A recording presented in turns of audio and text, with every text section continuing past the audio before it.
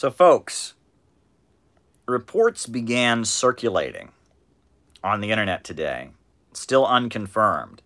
The capital of Saudi Arabia was hit by by some kind of airstrike, whether it was missiles, whether it was drones, regardless, that Riyadh was hit. Now, it's not totally confirmed yet. The, the reports are out there, but it's not confirmed who did it, what exactly happened. But that draws our attention to the situation in Yemen.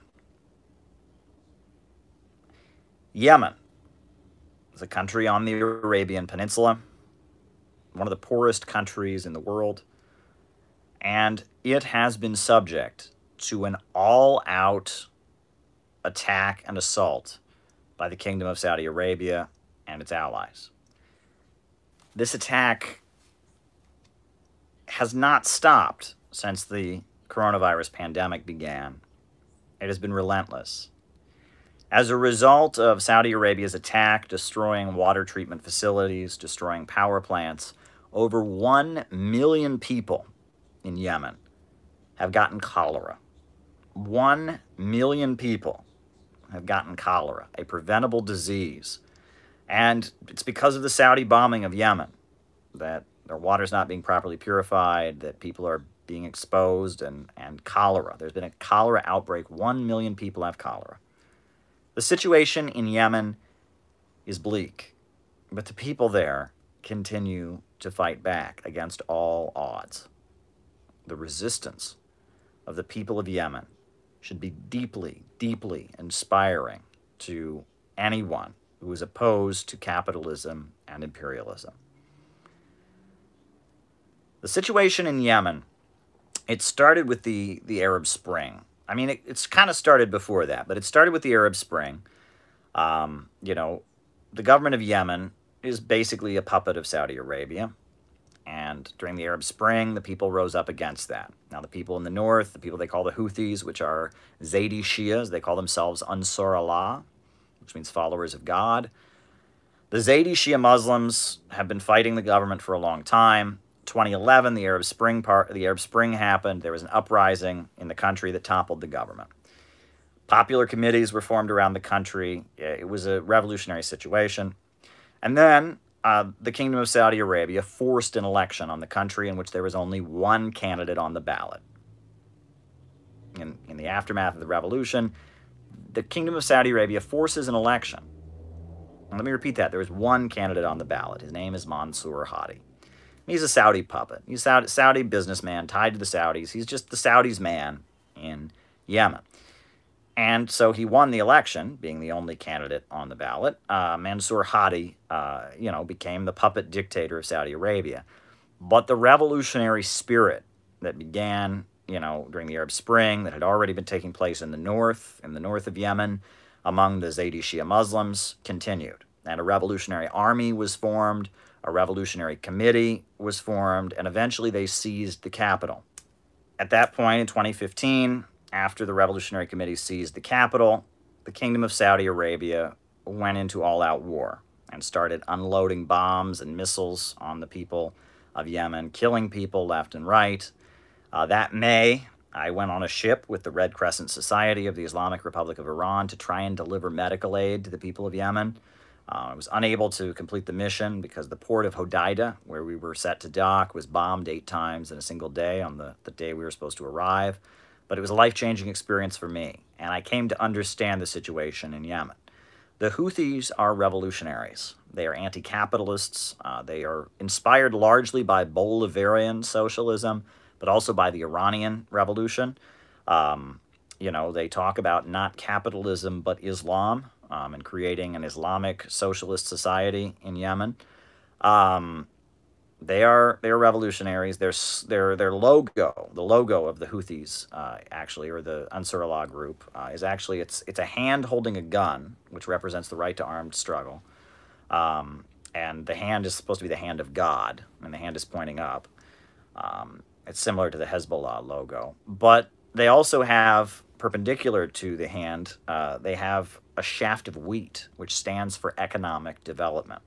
And that's largely what the revolution in Yemen is about. It's about the people of Yemen fighting for economic development. Yemen has a huge, huge untapped reserve of oil. The Saudis want to keep it in their back pocket. That if they, if they ever run low or something happens, the price goes up or whatever, they can take Yemen's oil. But they're just keeping the oil in the ground. Well, what the Houthis want to do is what the Iranians have done and what the what the Venezuelans have done. They want to take control of their oil. They want to make the oil public property and use it to economically develop Yemen. That's what that's what the war is about. Basically, it's a war over economic development. Now, what's interesting is there's a lot of forces in Yemen that have switched sides. You know, the Houthis are consistently anti-imperialist, anti-Saudi. Um, Hadi is consistently the Saudis' puppet, but there is this thing called the Southern Transitional Council that goes back and forth. And there are many different political parties in Yemen. You know, there's the there's the the Yemeni Socialist Party, which is the former ruling party of South Yemen. South Yemen, let's remember, at one point was a socialist country. It was the Democratic People's Republic of Yemen, the DPRY. And the Yemeni Socialist Party is a party that that was the ruling party in South Yemen. Um, there's also uh, there's also uh, Nasserists, followers of the Arab socialist Abdel Nasser. There's Ba'athist Arab socialists in Yemen, um, and there are different factions in Yemen.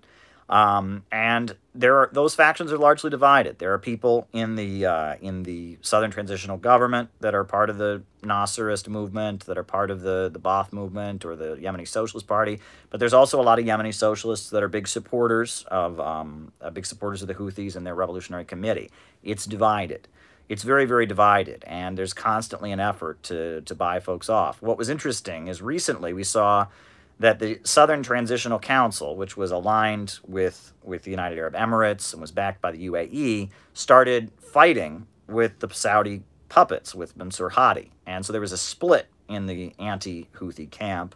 Um, now, they, they reached an agreement in 2019, but that agreement hasn't been fully agreed on. And so even among the anti, uh, anti-Houthi forces, there's big divisions. But regardless, the revolutionary movement in Yemen is, is the Ansar Allah movement and their allies. Their allies are communists, like the Southern Movement, people that want to restore the DPRY in the south. Their allies are Arab nationalists. Um, you know, the Houthis are a religious minority in Yemen. They are Zaydi Shia Muslims. They very much favor a federal system where they would be able to have a Shia Muslim government in the north.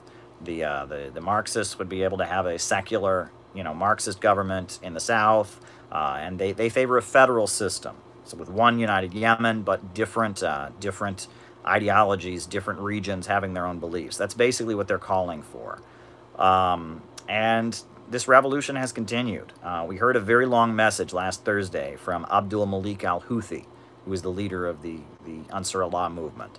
He gave a lengthy address calling out the United Arab Emirates and Saudi Arabia saying that they essentially have betrayed the Muslim world and to do the dirty work of the United States and Israel. Um, I mean, it's it's an ongoing situation there, but but the UN has condemned what Saudi Arabia is doing. I mean, one million cases of cholera. The U.S. Congress voted to end all U.S. weapons sales and support for the war in Yemen, and Trump vetoed it. And Trump has doubled down to support the Saudi regime, the Saudi monarchy, and crushing, crushing the people of Yemen. And you know, here's what's really wild, right? The Kingdom of Saudi Arabia doesn't make any any pretense of being democratic. It is an autocratic monarchy. The government they're supporting in Yemen, the Hadi regime, is not democratic at all. It had one candidate on the ballot selected by the Saudis. Meanwhile, the Houthis, in the revolutionary committees and popular assemblies that they've built, people are more involved than ever before. The population is involved, they vote on resolutions, they debate late into the night. The revolutionary movement in Yemen has formed these councils and assemblies in every neighborhood and every block, and that's why they're winning the war. That's why they have survived so long. Saudi Arabia has the fourth largest military budget of any country in the world, uh, but yet this tiny, tiny country Yemen, this deeply, deeply poor, tiny, desertous, undeveloped country, has been waging a war against the Saudis and against the Western capitalists who back them for five years now. And it has been continuing. And this is this is David and Goliath. I mean, this is this is a people, a Bedouin people, right? That are that are resisting resisting hell and high water waged against them by imperialism. This is the Vietnam of our generation, right? I mean, this is unprecedented. This is this is a story of people who love their country and love their homeland and love their people resisting. And what's amazing about it is you have secular Marxist-Leninists and secular nationalists and Shia Muslims and Sunni Muslims all joining arm in arm to resist. Meanwhile, it's the Saudi coalition. It's fractured, right? You've got the Southern Transitional Council, you've got Mansour Hadi, and the Yemeni people for five years have come together to resist, and they they fight back with everything they have. This is this is the unbelievable, unbelievable uh, story of our generation. And the fact that the U.S. media kind of looks the other way and pretends it's not happening. The reason that they pretend it's not happening is because it doesn't fit their narrative at all. This isn't supposed to happen. Poor people with nothing, with barely any weapons, are not not supposed to be able to to beat back the fourth largest military in the world, the fourth largest military budget, you know, backed by the United States you know, the blood of U.S. imperialism. I mean, U.S. imperialism is behind what the Saudis are doing. U.S. military folks, advisors are telling the Saudis where to bomb. The USA has been giving satellite support to the Saudis in Yemen. Like I said, Congress made a resolution demanding that no more money from the United States go to back the Saudi war against Yemen, and Trump vetoed it. But regardless of all of this, regardless of all of this, the people of Yemen are fighting back heroically. I mean, this is unprecedented unprecedented. You know, and people want to want to miss what this is about, right? People point to the fact that there are some anti-Semitic statements that were made by the Houthis. You know, I don't I don't embrace anti-Semitism or hatred or bigotry against anybody on the basis of their religion. People want to point to to allegations that Iran is supporting the Houthis. They're missing the point. They're missing the point. We are seeing a nation that has been a colony of Saudi Arabia, kept poor by Saudi domination and Western imperialism, fighting back and fighting for its life against all odds. We're seeing people of different religious backgrounds and different ethnicities within Yemen standing arm in arm. We're seeing the poorest country in the world raise its head and push back one of the wealthiest countries in the world. This is unprecedented, what's happening in Yemen. It is unprecedented. This hasn't happened in a long time. This is Vietnam all over again. This is David and Goliath. This is this is something this is something special, and that's why, that's why you're not hearing anything about it. You're not hearing anything about it in mainstream media, right? I mean, the, the head of the Houthis just gave this lengthy speech calling out U.S. imperialism, calling out Israel, calling out capitalism, a lengthy address. Didn't hear anything about it. Um, and it is really unprecedented. But the humanitarian toll has been massive as well. One million, one million cases of cholera, right? 1 million cases of cholera. Unbelievable. So I wanted to talk about that because it needs to be talked about. But it points to the bigger trend in the world today, which is what is the focus of my little update here. Socialism. 21st century socialism, not not Soviet style socialism, but 21st century socialism is battling against western capitalism and imperialism, right? It's happening again. This is Cold War 2.0, but it's a little bit different right? It's not an ideological Cold War. It's a Cold War between anti-imperialism and socialism and resistance and Western capitalism. It's not the Cold War. It's not. It's not the old Cold War. This is this is the new situation, and it's playing out in a number of countries right now. Right? I mean, someone already super chatted me and asked me about Meng, Meng, the CFO of Huawei Technologies. In case you didn't know, Huawei Technologies is the biggest telecommunications manufacturer in the entire world. Nobody makes more phones and more, uh, more products that are telecommunications related than Huawei Technologies does. It is a huge company. And if you'll go to my Twitter page, you will see an article that I tweeted from the Harvard Business Review. Right, so this is not from People's Daily. This is not from Global Times. This is not from CCTV. This is from the Harvard Business Review. In 2015, Harvard Business Review wrote an article about Huawei Technologies saying that it was an example of profit sharing working. It says Huawei is a, an example of profit sharing working. Read the article. Harvard Business Review did an extensive study of Huawei Technologies, the Chinese state controlled megacorporation, and acknowledged that it's a co op.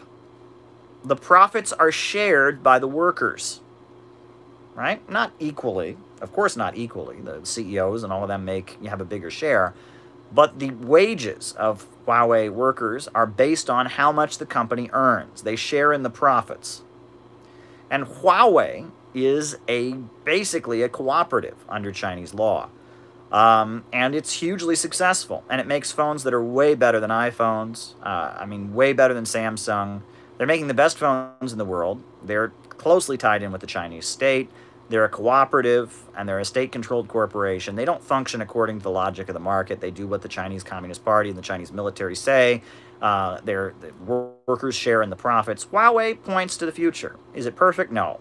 I mean, is there corruption there? I'm sure there's problems there. But in China, everybody wants to work at Huawei. Huawei workers make better wages than most people. Huawei workers uh, have better benefits than most people do. Huawei is like the ideal place to work. Huawei Technologies.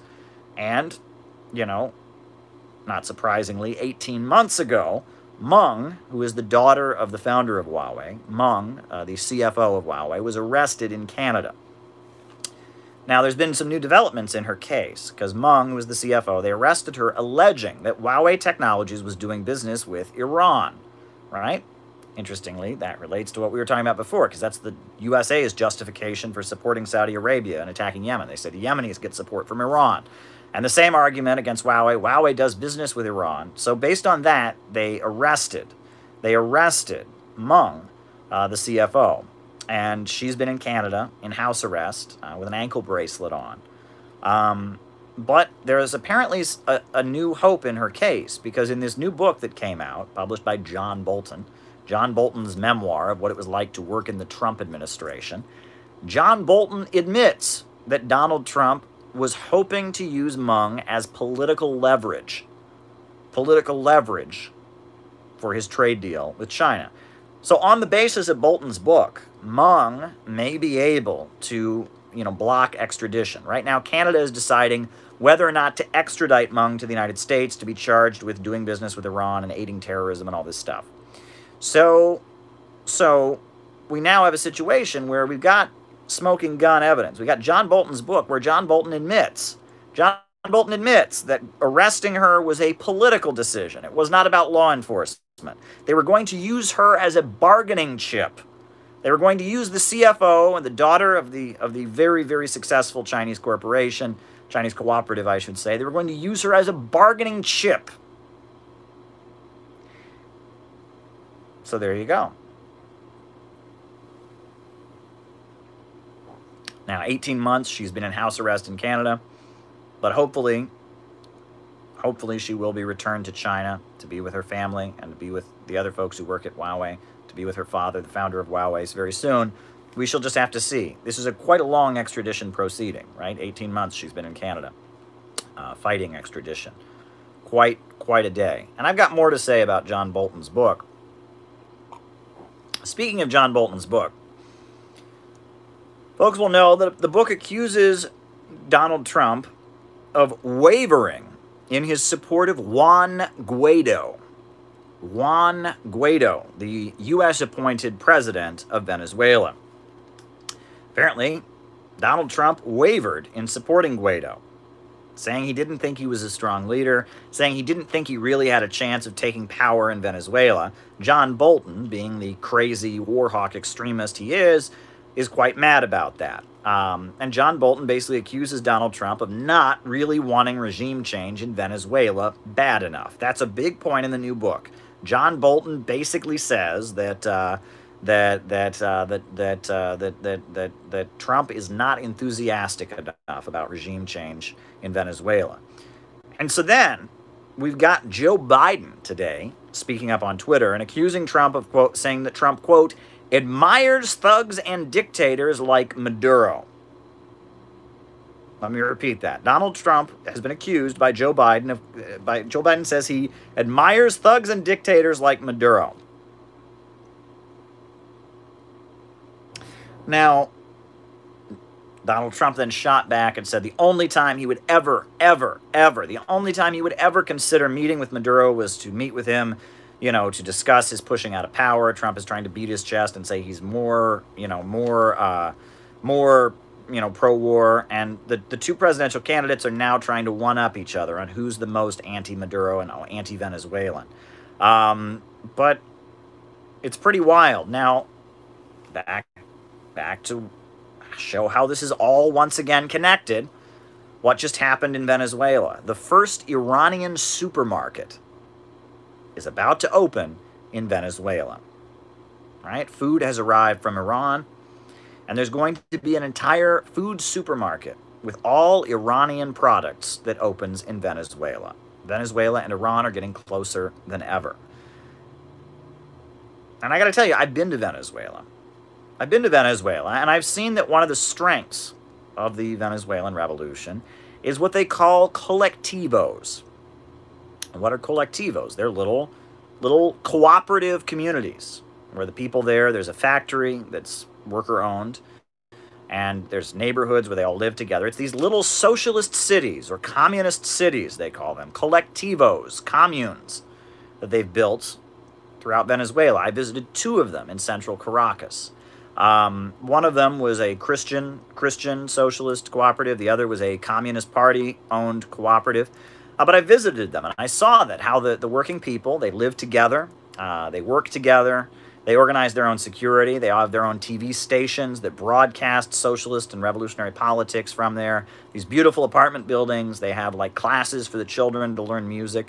I visited the collectivos, and that those collectivos is where Maduro draws his strength by having this these areas that are under socialist control, right? They have a lot of free market stuff in Venezuela. The government controls the oil, but there are these little socialistic cities and socialistic communities and collectivos and cooperative businesses and worker-owned factories. There's a worker-owned concrete factory in Venezuela. And the socialist government of Venezuela draws its strength, draws its strength from those cooperatives, from those collectivos. Fascinating. Now, someone else requested that I talk about what's going on in Lugansk in the People's Republic.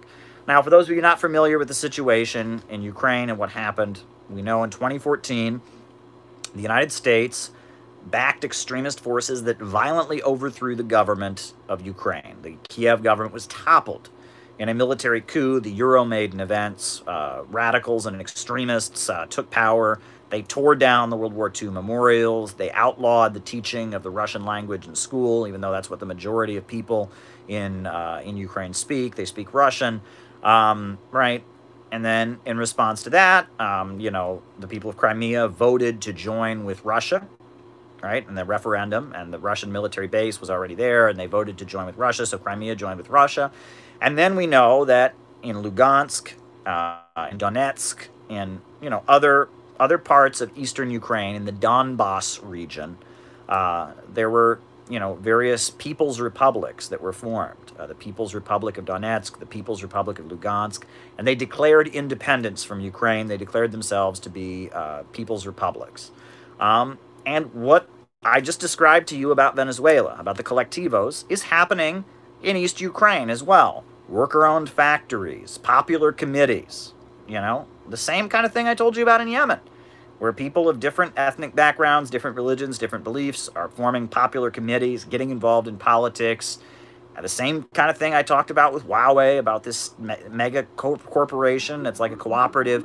It's happening all over the world. A, a new form of economic institution is emerging. And states that are sympathetic to these new forms of economic organization are, are resisting imperialism.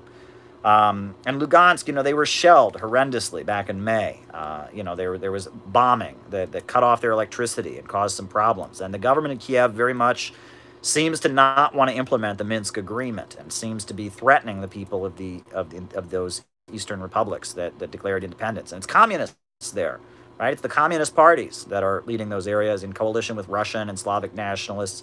It's it's it's a new form of popular power that's emerged in the, the people's republics. Another example, within Russia itself, Lenin Farms. I bet people don't know about Lenin Farms in Russia. Well, that's where Russia gets its strawberries. there is this huge farm, collective cooperative in Russia called Lenin Farms. It's owned by the Communist Party, right?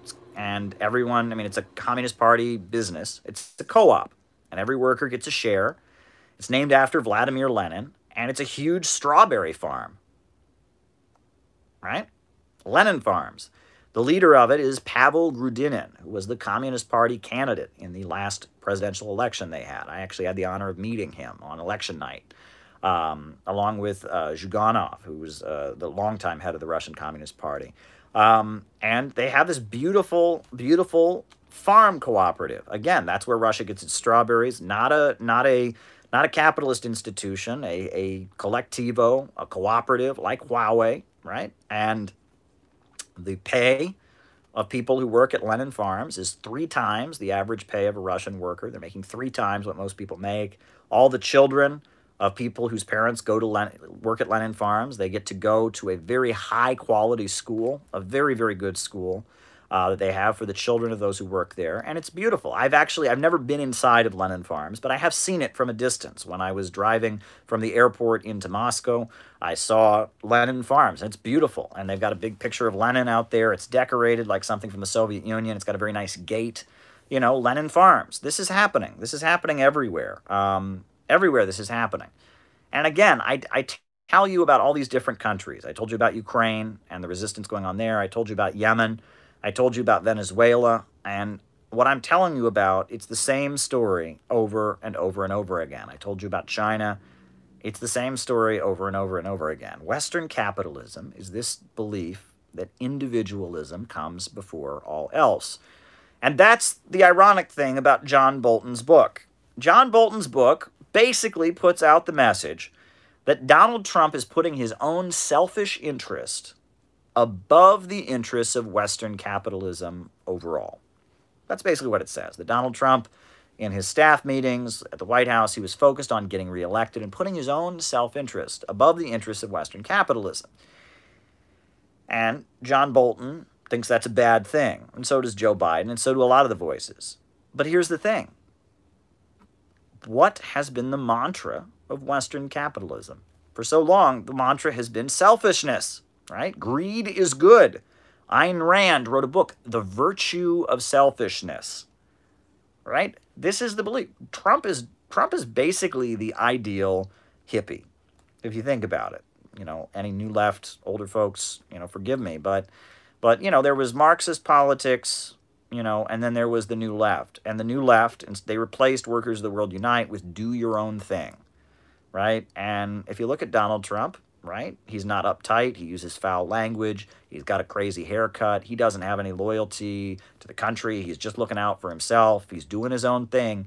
Donald Trump is an expression of that of that, you know, baby boomer nonconformity, new left stuff. That's basically what Donald Trump is, right? You remember if you'll remember correctly, Donald Trump uh, he did not fight in Vietnam, but he says that he got venereal disease many times during the Vietnam War and that his struggle with venereal disease was his own personal Vietnam, right? I mean, he had, I mean, Donald Trump, Donald Trump is basically, um, if you take, you know, the, the, you know, the influence of Marxism and socialism out of the left of the 1960s and out of the new left, if you just make it a cultural revolution, right? Donald Trump with his crass sexual remarks, Donald Trump with his pure selfishness, Donald Trump with his, you know, non you know, non-conformity. Donald Trump is basically an expression, and he himself is a baby boomer. He's an expression of the, the cultural degeneration of Western capitalism. Western capitalism has been telling people for the longest time they don't need to have any loyalty to anything, right? No loyalty to country, no class identity you know, that they, it's just you, an atomized individual against the world, right? It's you, you're on your own, individualism above all else. That is what Western capitalism has been beating the drum, the mantra of think for yourself, do your own thing. You are an individual against the collective. That's what Western capitalism has been telling people for so long. And Donald Trump, this is that logic, right? If, if people have no obligation to the nation, if they have no obligation to others, they're not part of a collective, if they're just looking out for number one, they start to sound a lot like Donald Trump, right? Donald Trump. Donald Trump is very much an expression of what the Western world has wanted for so long. Individualism above all else. But all over the planet, people are resisting that ideology. People in Yemen are resisting that ideology. People in Venezuela are resisting that ideology. People in Donbass are resisting that ideology. People in Russia are resisting that ideology. People in China are resisting that ideology. All over the planet, people are pushing back against greed is good, individualism, and they're pushing back and forming cooperative institutions, collective institutions, places where people have an identity, a concept of who they are as a people. They are rejecting they are rejecting the radical deconstruction and, and atomized individualism that defines Western society. They're rejecting it. And part of doing that has been building these kind of socialist cities and cooperatives, right? That's been a big part of it. And I'm here to tell you folks that as much as you might think things are pretty bleak here in the United States with the pandemic, with, you know, the police state, with the unrest, with the mass unemployment. I got to tell you that socialist cities are a big part of American history. Believe it or not. Google Zoar, Z O A R, Zor.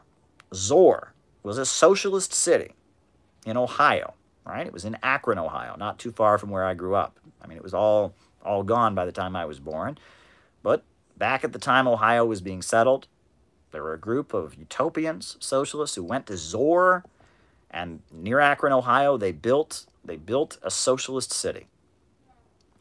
The man who first used the word socialism in the English language, Robert Owen, a Scotsman, he moved to Indiana and he built a socialist city, New Harmony. And he built a socialist city there. And he gave speeches to joint sessions of Congress on the merits of socialism. Karl Marx talks a lot about about uh, about Robert Owen in uh, and so did Frederick Engels in the book Socialism, Utopian and Scientific. All throughout U.S. history, you will find examples of people building little socialist communities throughout U.S. history. It, it's a growing trend. What Venezuela's government has really pushed the colectivos. You know, what, what, this kind of thing is very common throughout U.S. history. And in fact, believe it or not, the Mormons, when they started, not later, when they started, the Mormons actually had a socialist edge to them. We know about Joseph Smith. Um, but one thing about the Mormons when they began is they were radical abolitionists. They were very, very opposed to slavery. They were racially integrated. They were actually black members of the Mormon church early on.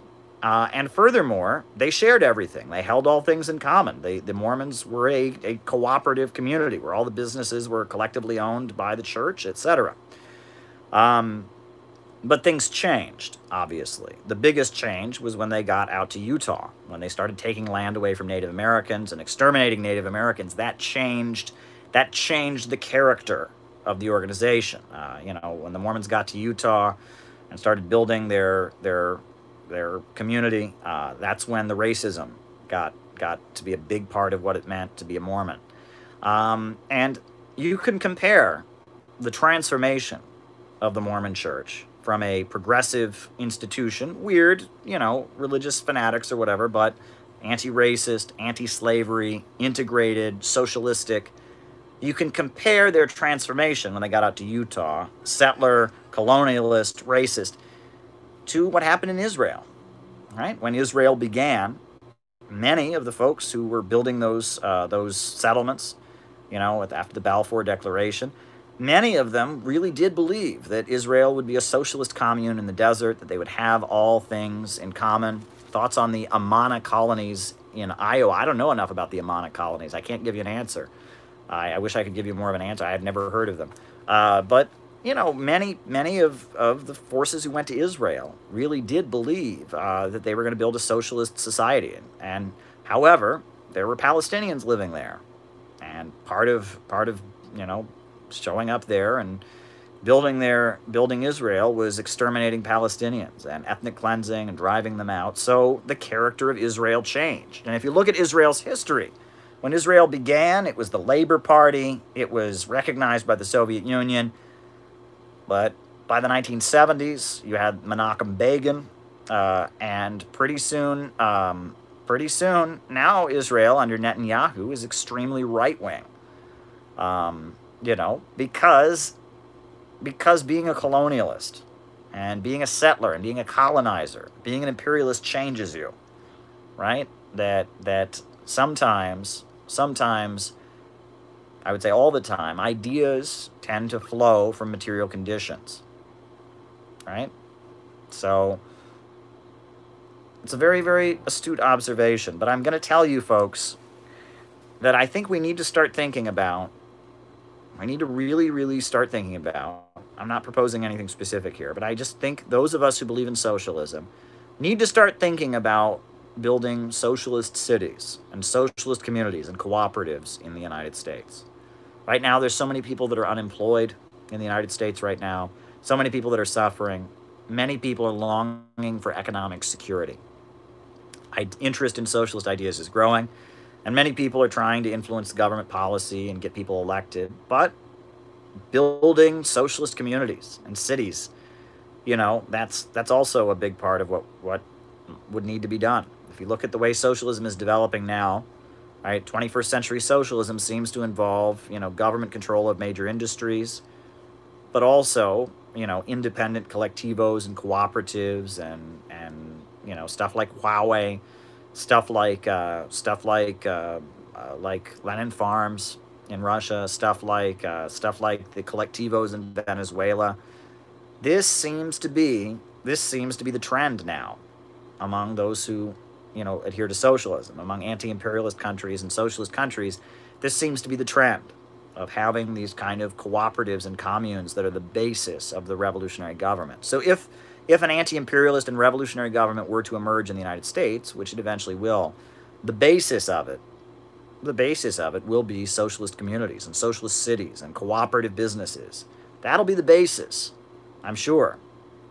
So we, those of us who believe in socialism, need to start thinking about what we could do to start building socialist cities.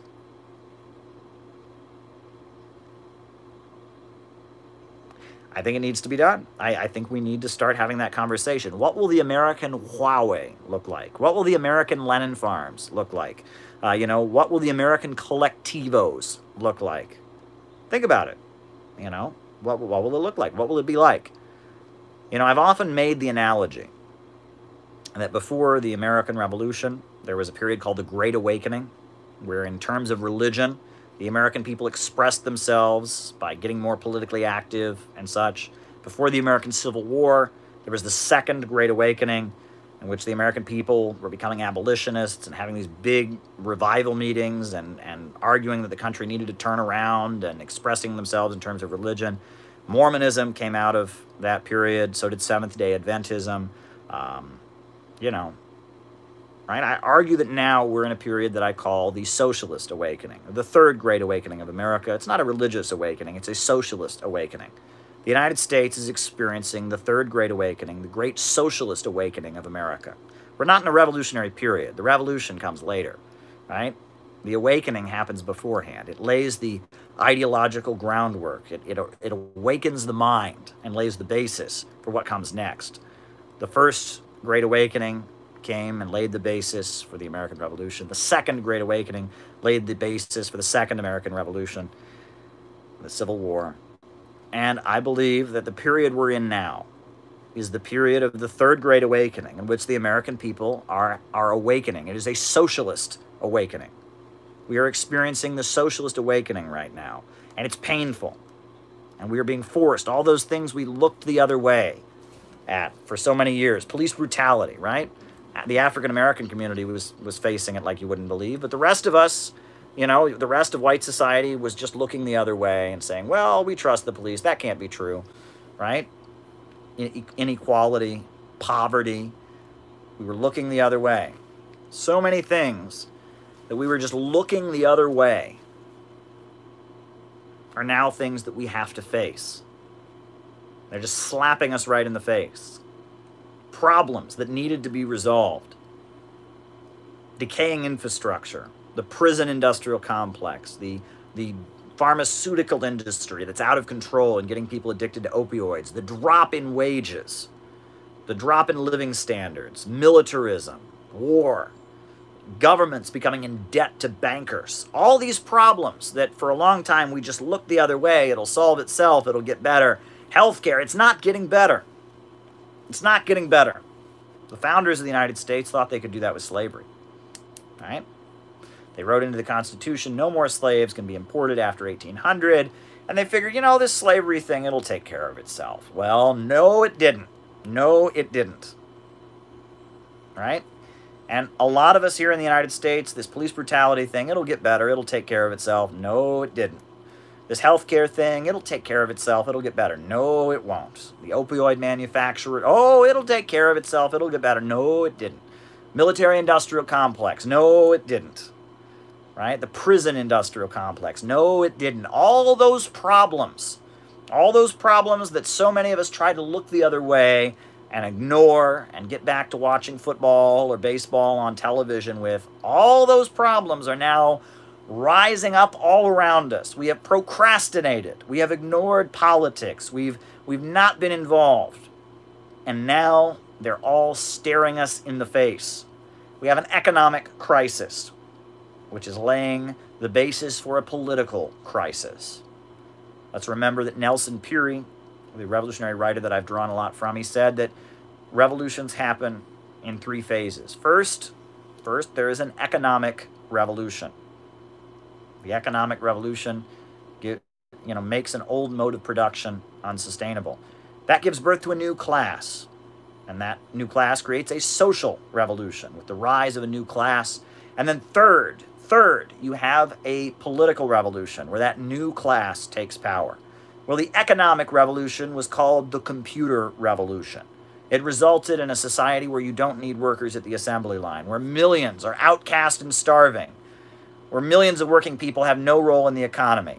And it created a new class of the, the unemployed, or the almost permanently unemployed, the precariat, the young people stuck in short-term, low-wage jobs, the millions of communities where people don't have sustainable employment, where people can't pay their bills. They're barely getting by. This new class of, of, of workers that barely have a place in the assembly line, that barely survive.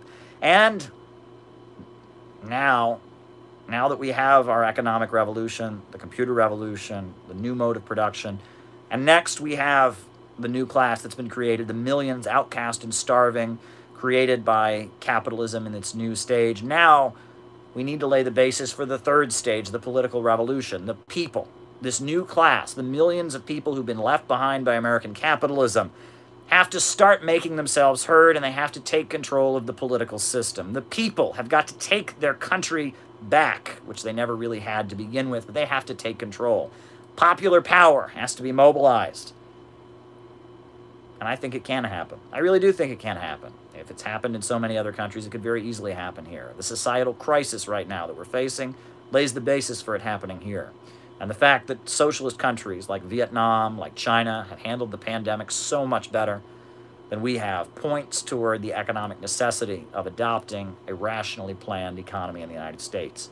The means of production, the banks, factories, and industries must be organized to serve public good and not profits we need a rationally planned economy to unleash the potential of every human being, to allow the creation of all kinds of beautiful mega corporations in which the workers share in the profits that they create.